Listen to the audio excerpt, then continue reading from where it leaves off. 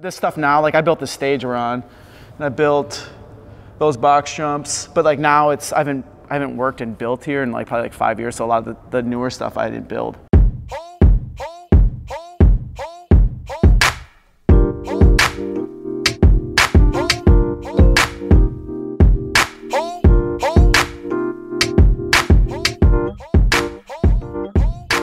So yeah, I, I rode contests in all, all over in like in Tel Aviv, Poland, all over Germany, Hamburg, Cologne, Frankfurt. I lived in Berlin for a summer.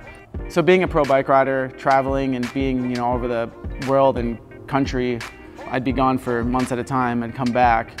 And coming back home, I actually have like a picture of a shot that I took like coming back into the city after like a long trip and it was like the middle of winter. It's this grimy photo but like I'm literally driving over the Hoan. Every time I come over and see that shot, I just like know that I'm home. So it's just like nice to finally come back and, and see that see that that that skyline coming back over.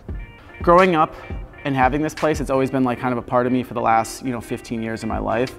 So like giving it up, I never wanted to do. So still staying here and being a part of it is important to me because first off, I get to see my friends and I get to still see the scene that, you know, I helped kind of mold and create.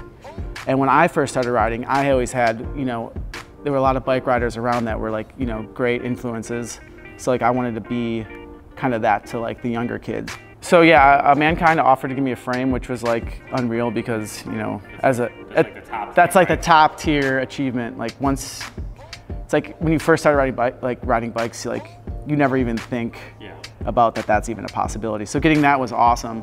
Um, Milwaukee's always been my home, so I, I wanted to kind of include that into the frame. So after designing like the specs, the geometry of the frame, it was like what other things could I do? So I put like a, in like the bottom wishbone, uh, which is like a part on the bike, I put like a Brewers logo, and then I named it the forward frame, which is like the Wisconsin state motto. Traveling everywhere, kind of having that frame under you that like still represents the city you're from is kind of like a cool, fun thing to do, you know? Like it's like you can be proud of, first of all, that you got that, that to that level, but also that you're proud of your city and you, you show that.